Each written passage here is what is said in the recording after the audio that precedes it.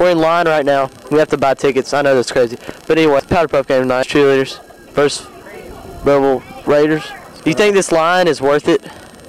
Probably. It's not that long. You think this these ticket prices are worth it? Two dollars, man.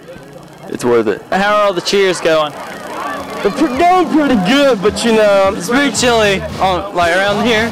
Coach, how do you what do you feel about this game? We're just much better looking than the Raiders. What position are you playing? I play offensive line. Play defensive line, the whole defensive line? No, I'm the left one. I just run straight. Quarterback. outfield. Quarterback. Defensive end. I'm on offense. I mean defense. I'm a right guard. A wide receiver. Now, how many balls have you caught tonight?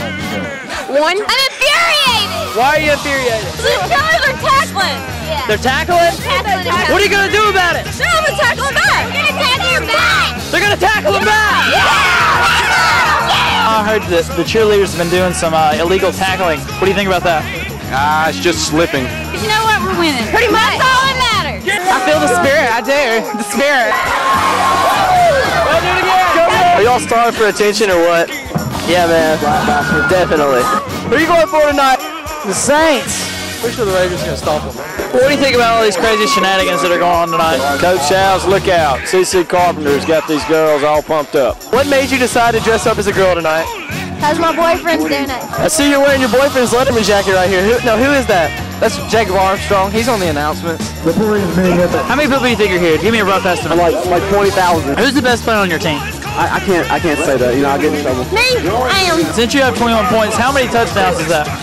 That's um. Okay, the three. Three. Putting in your retainer. What does that do? It makes me be tough. Ah. Oh.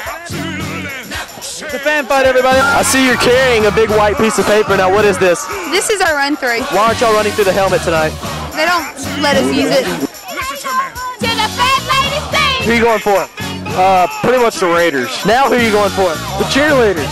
How cold do you think it is exactly in degree form? Uh, like 40. We're out there on the field, it's about 100 because cheerleaders are heating up the field. Who's gonna win tonight? No! Who are you going for tonight? Definitely the Raiders. Play some drum. I'm watching the Raiders. It's been a thrilling game, but you know what? Cheerleaders dominated 35 to 13. The Raiders tried to go for a Hail Mary at the end, but it, it was uh, unsuccessful. But yeah, anyway, in conclusion, cheerleaders dominated. Congratulations, Talisha Thrill homecoming queen. Thank you, cheerleaders and Raiders, for being in this. Yeah!